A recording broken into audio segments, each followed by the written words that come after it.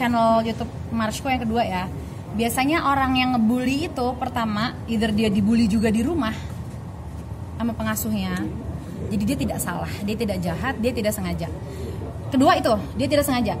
Biasanya orang yang ngebully itu nggak sadar kalau dia lagi menyakiti hati orang yang merasa dibully maaf. Terus um, bagi korban bullying aku sih jujur masih trauma sampai sekarang kalau aku. Karena kan aku, aku waktu SD dibully walaupun aku yakin sekarang kalau teman-teman SD aku nonton mereka kayaknya kayak udah lah Ca, kita tuh care sama lo gitu. Aku tahu itu tapi tetap aja masih segen sama mereka. Karena merasa terasingkan dulu merasa nggak dianggap merasa diabaikan merasa pantas untuk dipermalukan depan umum itu perasaan aku dulu ya.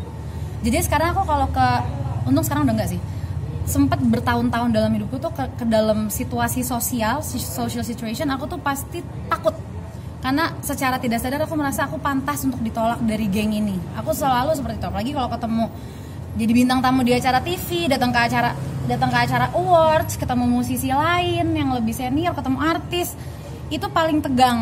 Karena kan aduh aduh aduh gitu. Jujur. Kalau ada Ella kan banyak selebritis yang melaporkan um, kayak kalau kalau aku mah aku bolehin orang benci aku terserah mereka kalau dia masa harus nurut sama Marshanda siapa gue nunggu ibunya.